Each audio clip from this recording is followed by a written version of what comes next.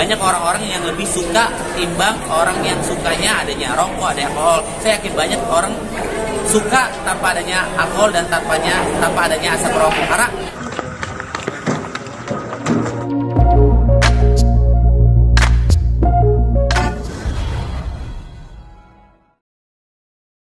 Ah, ya oke. Ayo Kak Dita. Yuk, langsung. Oke, sebelumnya makasih buat teman-teman yang sudah hadir sini. Ya, suatu kehormatan lah teman-teman bisa hadir di sini dari media mana pun, media cetak, online, televisi, dan media lainnya Eh, sudah mensupport dan mendoakan setiap langkah perjalanan hidup saya di dunia bisnis. Ya mudah-mudahan saya cuma bisa mengucapkan terima kasih Semoga kalian dibalas kebaikannya itu yang pertama. Oke, pastinya hari ini kegiatannya launching atau bisa dibilang grand opening usaha saya yang terbaru di cabang olahraga biliar yang namanya Play Biliar.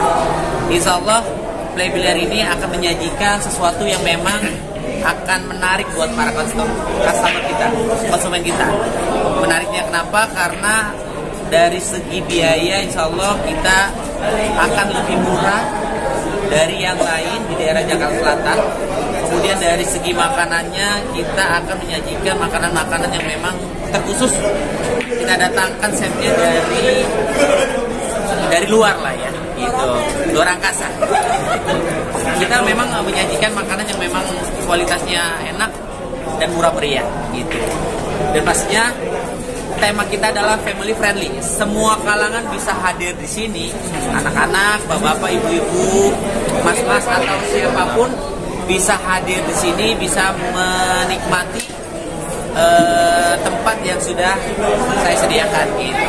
Tanpa adanya asap rokok sedikit pun di area biliar, kalau kita bisa dibilang ya menyediakan area area rokok sih kita menyediakan tapi di area biliarnya nggak ada asap rokok sama sekali dan tanpa sedikit pun alkohol di dalam sini. Thank.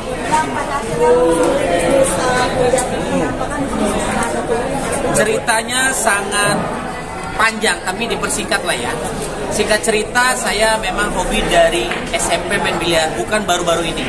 Kemudian sampai akhirnya saya pribadi main biliar tuh hampir setiap saat. Ke mall main biliar. Habis main bola main biliar.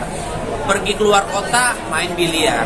Kemudian sampai akhirnya saya tuh udah mumet banget kan main biliar habis itu kurang lebih 3 juta 4 juta setiap saya main biliar ini sejujurnya ya karena saya juga bawa rombongan sih maksudnya asisten rumah tangga asisten rumah tangga asisten pribadi gitu gitu karena kan dari segi makanannya dan mainnya kita tuh main berjam-jam kemudian sampai akhirnya saya berpikir menghabiskan 3 sampai 4 juta ini loh. Kemudian ya udahlah saya belilah meja biliar. Ini perjalanannya ya. Belilah meja biliar bawa ke rumah saya main setiap saat. Kemudian saya masukin ke sosial media saya. Sampai akhirnya partner saya melihat itu dia datang dia suka sama saya suka bukan berarti gimana gimana maksudnya. Bisa dibilang fans lah sama saya. Karena saya buat konten biliar gitu. Sampai akhirnya kita ngobrol-ngobrol-ngobrol saya pengen dikasih meja biliar. Saya bilang saya udah punya. Akhirnya saya dikasih stick biliar dengan nominal hadiah. Biliarnya tuh 70 juta tuh. Alhamdulillah saya bersyukur banget gitu sampai akhirnya kita ngobrol, kita punya satu visi dan misi, kita punya kesinambungan, kita punya keyakinan kalau cabang olahraga ini kita bikin sesuatu yang memang notabene biliar itu kan mohon maaf ya negatifnya ya mungkin kalian lebih paham ya kita bikin sesuatu yang memang positif di cabang olahraga biliar ini ya yang tadi saya sempat sounding tanpa asap rokok tanpanya alkohol, tanpa yang gimana-gimana, seperti itu sih teman-teman. Ya mudah-mudahan apa yang saya jalankan di bisnis saya semuanya bisa diterima sama masyarakat dan bisa menghibur semua orang. biasanya konsep biliar kan segala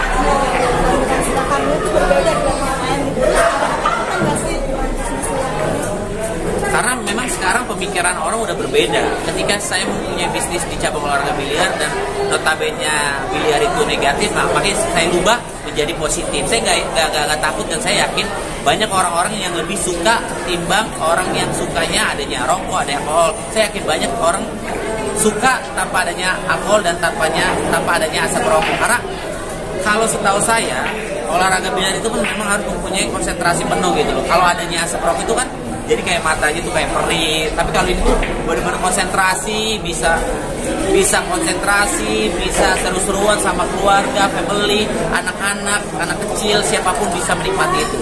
Gitu. Tapi kan kalau misalnya ada alkohol orang bisa mabuk-mabukan bisa rusuh bisa berantem karena gue pernah punya cerita waktu gue main di daerah Cipinang gue main biliar itu ya ya Las Vegas gitu bahasanya tempat biliarnya yang mabuk-mabukan segala macam. Sampai akhirnya orang berantem atau tunjukkan ada ada yang tusuk-tusukan segala macam. Ini real. Loh saya pernah mengalami eh, kejadian seperti itu. Maksudnya melihat secara langsung. Sejauh ini udah berapa cabang mobil ini?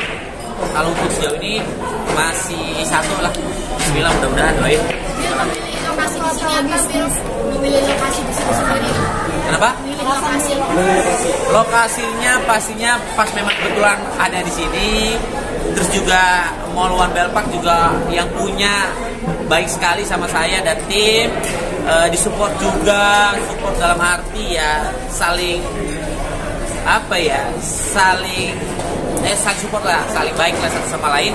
Kemudian sampai akhirnya ya kita membuat di Mall One Bell ini karena kondisinya juga memungkinkan, lokasinya juga bagus, banyak tempat-tempat yang memang orang bisa datang ke sini kayak apartemen, ada apa perkantoran, ada rumahan, ada sekolahan dan lain-lain seperti itu. Modalnya Bil yang dikeluarkan untuk membuat Baru modal, modal ya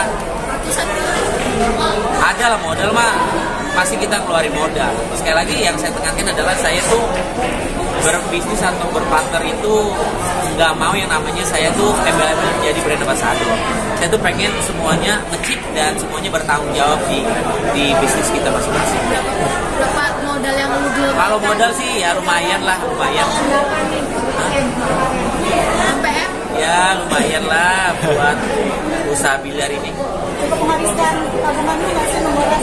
Cukup tarik napas panjang sekitar satu menit. Hah, gitu. Gitu aja sih teman-teman.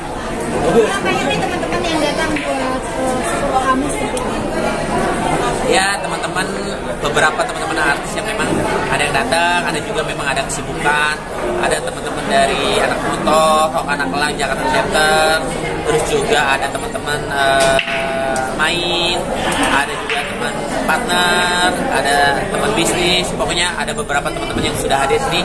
Jadi saya cuma bisa mengucapkan terima kasih atas support yang sudah diberikan kepada saya. Pacar datang nggak sih? lihat aja. lihat aja nggak ada gini-gini. Aja Mobil tadi sudah balikan lagi sama ini. balikan lagi? Enggak sih bukan balikan. Memang kesannya kayak kita dekat lagi karena memang gue menjaga pertemanan walaupun mantan juga sebaik mungkin sebisa mungkin kita tetap baik gitu kalau dibilang balikan sih enggak sih kita teman memang kita intens aja komunikasi di sosial media atau memang secara real life-nya kita memang saling support gitu kalau misalkan segala sesuatu yang bisa kita bantu kita bantu satu sama lain Di Bali juga bisnis bareng apa gimana sih Bang di Bali mana? Di Bali punya bisnis kuliner bareng apa gimana sih? Bang Siapa? Mil? Sama Devina Oh, kan? enggak. Hari ini datang hadir Bang. Ada kemungkinan balik lagi? Nggak tahu lah. Itu rahasia Allah lah. Hari ini ikut support ya Bang Billy? Insya Allah dia datang. Nggak tahu tapi belum datang. Karena kan kita acaranya sebenarnya memang setengah tiga. Setengah tiga jam tiga ini baru setengah empat lah. Masih masih panjang lah. Kita selesai itu jam delapan. Tutupnya sampai jam 3 pagi. Operasional sendiri dari jam berapa sampai jam berapa sih untuk play? Operasionalnya kurang lebih dari jam 12 siang sampai maksimal itu mungkin jam 2 kali ya. Minimal jam 12 ikut uh, survei uh, tiap hari kak kontrol kesehatan atau gimana bang Selama perjalanan soft opening selama satu minggu hampir tiap saat setiap hari. Gue datang memantau dan alhamdulillah responnya sangat baik. Sampai waiting list alhamdulillah terima kasih atas responnya buat semuanya kalangan yang memang pecinta olahraga biliar.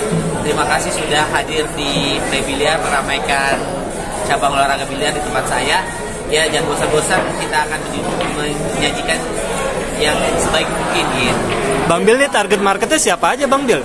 target market ya semua kalangan sih. Oh. Jangankan anak kecil, anak bayi bisa masuk sini. Tapi nggak main biliar ya, cuma digendong aja. Tapi kan aman dari asap rokok, dari alkohol.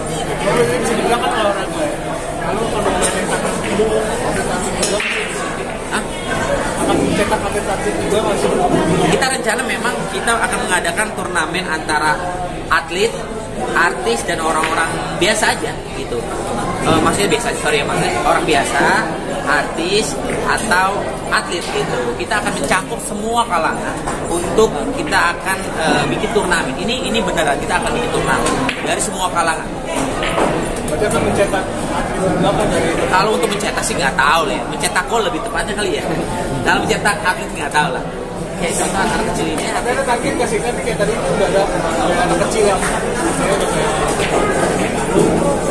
kalau mencetak atlet gue nggak gue nggak gue nggak bisa ngomong ya gue nggak ngerti tapi kalau untuk ajang antara atlet mungkin antara artis atau orang-orang eh, yang lainnya bisa lah bisa kita ajak untuk Ambil kan kuliner sudah sudah banyak banget kuliner sekarang dilihat. Ke depannya mungkin ada lagi bisnis lain mungkin sudah terpikir. nggak tahu kalau gue memang nggak punya plan untuk ke depan seperti apa ini kan memang yang yang bisa gue ceritakan yang tadi tuh memang semuanya tuh spontan semuanya tuh memang gue dari hati gue tuh nggak semata-mata kayak punya plan atau punya kayak impian untuk depan gue harus gini gue harus nggak sama sekali.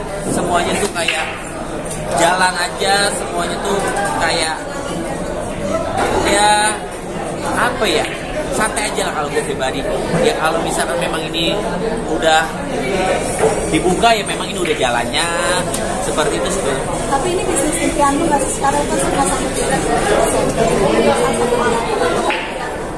Ini ya dibilang impian nggak nggak juga sih tapi memang gue hobi gitu gue nggak ada impian untuk gue membuka tempat bisnis seperti ini. Ini tapi udah terwujud dan ini suatu kebanggaan dan suatu apa ya kebahagiaan buat gue dibilang impian mah enggak.